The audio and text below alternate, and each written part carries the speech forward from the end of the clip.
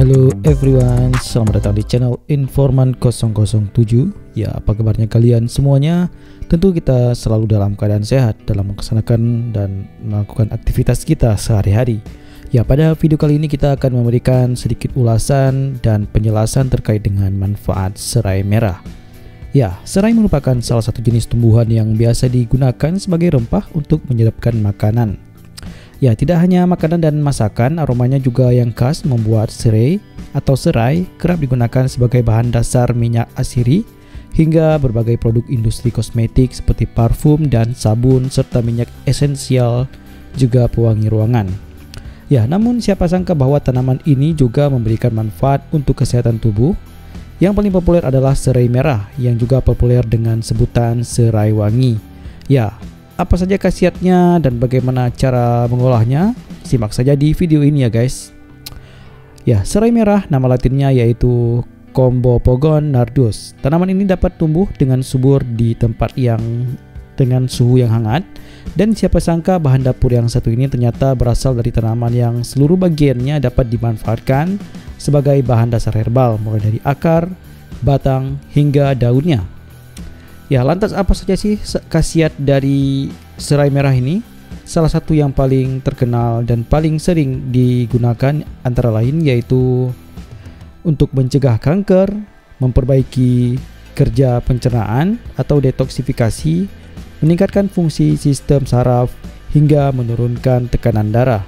Ya, di sisi lain serai wangi dengan aromanya yang khas berguna untuk mencegah gigitan serangga dan mengurangi rasa gatal pada kulit.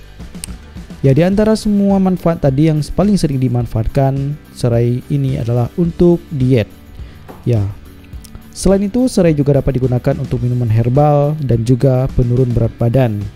Caranya sangat mudah, kalian cukup menyiapkan bahan-bahannya yaitu 3 batang serai merah, 2 buah jeruk nipis, 1 kantong teh serta 5 gelas air bersih. Untuk cara membuatnya, potong-potong 3 batang serai menjadi empat bagian atau tiga bagian, kemudian geprek serai yang sudah dipotong-potong. Kemudian iris tipis dua butir jeruk nipis dengan bentuk bulat.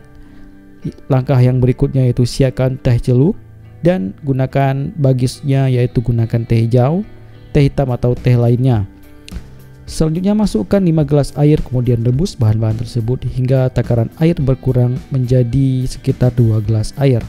Setelah air mendidih, diamkan hingga suhu turun atau dingin atau hangat dan konsumsilah minuman ini setidaknya dua kali sehari, pagi dan malam hari, di mana minuman ini sangat baik sekali untuk menurunkan berat badan, juga bagi kalian yang sedang lagi dalam program diet, di mana minuman ini tentu akan memberikan tubuh kalian menjadi ideal dan berat badan pun berangsur menurun dan itulah manfaat dari serai merah atau serai wangi yang bisa kita dapatkan manfaatnya bisa kita tanam sendiri atau kita dapatkan di pasar atau di swalayan atau di toko-toko yang menjual obat herbal.